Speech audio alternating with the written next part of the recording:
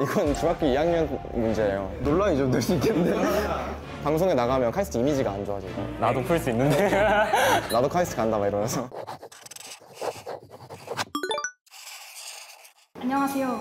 오늘은 카이스트 학생들과 함께 수능 수학 문제를 풀어볼 건데요. 자기소개 짧게 해주실까요? 안녕하세요. 카이스트 전산학부 23학번 오영석입니다. 카이스트 전기 및 전자공학부 이삼학번 장태현입니다. 새내기 과정학부 유한결입니다. 어, 카이스트 수리과학과 2학번 윤대한입니다. 오늘 수능 문제 진짜 오랜만에 푸실 텐데 다들 각오 한마디 부탁드려도 될까요? 일반고 출신인 만큼 잘해보겠습니다. 일반고 출신인 만큼 잘 기억은 안 나지만 열심히 한번 해보겠습니다.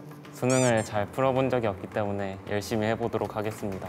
고등학교 졸업한 지는 되게 오래됐지만 그래도 최선을 다해보도록 하겠습니다. 이제 첫 번째 문제 한번 풀어볼게요. 정답, 이거 함정이 있을 수 있어. 정답 2. 와. 이건 설명하는 게 아닌데 설명한 아, 좀 이건 중학교 2학년 문제예요. 논란이 좀 될 수 있겠는데. 방송에 나가면 카이스트 이미지가 안 좋아지고 나도 풀 수 있는데. 나도 카이스트 간다 막 이러면서 다음 문제로 넘어가 볼까요? 와 이게 뭐야? 쉽지 않겠다. 와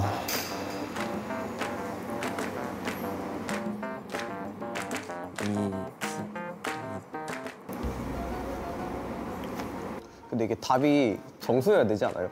점수가 안 나오네 갑자기. 잘못 푼 것 같은데 그거는. 큰일 났다 이거. 4분의 17. 아닙니다. 아, 진짜요? 아, 나 지금 이거 멘탈 나가.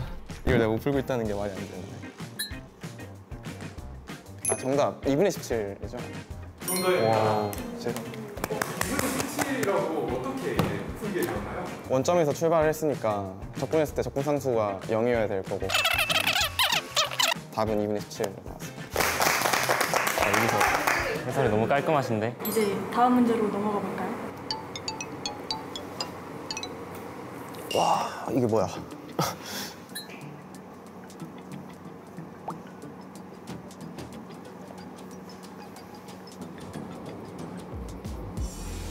정답 25. 정답입니다. 대충 그림을 이렇게 그려보면은 오비를 지름으로 하는 원 위의 점이 a다라는 거는 얘의 직각이라는 거니까 이 기울기가 2라는 거 나왔으니까 이 기울기 마이너스 2분의 1이다 하면은 25 이렇게 나왔습니다. 미적분 안 나오나? 다음 문제 풀어볼까요? 오, 좋아, 좋아. 갑자기 풀기 싫어진다. 그냥 밑에 극한식부터 마음에 안 드는데 일단 문제가 상당히 좀 조잡하네요. 잘 안 보여. 정답 8. 정답 6 아니에요? 아닙니다. 어 뭐지? 정답 16? 아닙니다. 아, 16, 16이 아니에요? 정답 51. 이 함수가 이제 대략적으로 이렇게 그려집니다. b가 3일 때 가장 큰 a와 b의 합이 나오기 때문에 이제 저는 이렇게 하나, 하나씩 대입해 보면서 규칙성을 찾은 다음에 여기 a와 b를 구했습니다. 수학을 도대체 언제부터 좋아하신 건지 저는 일단 수학에는 두 가지 매력이 있다고 생각하는데 이게 딱딱 떨어져서 그거 하는 맛이 있고 두 번째는 문제를 볼 때 몰입하는 게 재밌어서 수학을 좋아하게 됐던 것 같습니다. 수학이라는 과목을 전공해서 배우게 되면은 되게 논리적으로 서술을 하는 게 많아요. 논리적으로 서술하는 과정이 되게 재밌어서 전공을 했던 것 같습니다. 저희 어머니께서 이제 하루에 세 장 이런 식으로 수학 문제를 조금씩 조금씩 풀어라 라고 문제집을 던져주시고 풀리셨는데 혼자 막 계속 다 풀고 막 문제집 하나 다 풀고 그랬던 기억이 나요. 제가 머리를 쓰는 과정 자체가 좀 즐거웠던 것 같아요. 저도 엄청 비슷한데 어렸을 때 형이 있어가지고 형이 수학 문제집 이렇게 풀면은 저도 같이 풀고 싶어가지고 그냥 어렸을 때부터 문제 풀고 하는 거 재밌어가지고 하다 보니까 여기까지 온 게 아닌가 싶습니다. 벌써 문제가 길어. 이거 뭐가 잘못됐어. 이거 혹시 2, 3학년도 수능 아닌가요?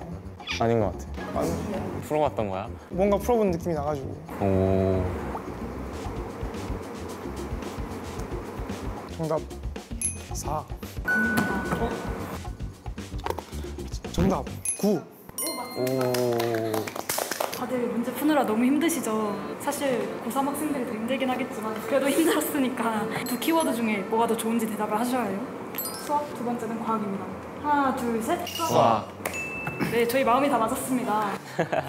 수학도 좀 여러 분야가 있잖아요. 각자 어떤 게 좋은지 확통을 제일 좋아하는데 이게 왜 수학이냐 좀 강경 발언일 수도 있는데 문과들이 하는 수학이란 인식이 강한데 대학에서 이제 확통을 접하게 되면은 고급 수학을 많이 쓰이게 돼요. 그런 점에서 좀 되게 재밌었던 것 같습니다. 그냥 미적분학이 제일 좋았던 것 같아요. 미적분학이 제일 쉬워서. 아, 너무 쉬워서 와. 어쩐지 문제를 좀 잘 푸시더라고요. 그냥 가장 기초로서 미적분학 선택하도록 하겠습니다. 이제 마지막 문제 풀어볼까요? 드디어 수투가 아닌 무언가가 나왔어. 오. 아니에요. 어. 정답 0. 정답 마이너스 7. 정답 어, 2 아닌가요? 맞아요. 되게 많이 안 쓰시고 푸셨네요. 네. 아니에요. 오늘 이렇게 문제풀이가 드디어 끝났는데 다들 소감 어떤가요? 오랜만에 풀기도 하고 다 풀었는데 계속 끝에서 계산 잘못한다거나 이런 게 많았어서 좀 아쉬웠던 것 같습니다. 경험해본 문제 유형이기도 하고 상당히 자신 있게 왔었는데 막상 풀어보니까 너무 떨리고 잘 안 풀리더라고요. 그래도 되게 재밌던 경험인 것 같습니다. 어, 확실히 수능을 접하신 분들이 정말 잘 푸시더라고요. 여러분들도 열심히 연습하시면 좋은 결과 있을 것 같습니다. 오랜만에 푸니까 확실히 젊은 친구들이 잘하는 것 같아요.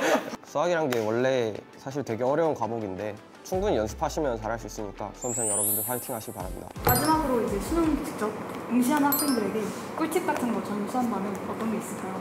문제 풀 때 혼란이 없기 위한 팁인데요. 조건을 변형을 할 때 좀 귀찮더라도 완벽하게 담보할 수 있는 조건으로 변형해 나가면서 문제를 푸는 게 좋은 것 같습니다. 생각하는 회로 자체를 스스로 구축을 한 다음에 푸는 걸 추천드립니다. 네, 그럼 오늘 여기서 마쳐보도록 하겠습니다. 이제 수능이 약 한 달 남았는데 지금 수능 치시는 모든 분들 카이스트에서 만났으면 좋겠습니다. 안녕. 안녕.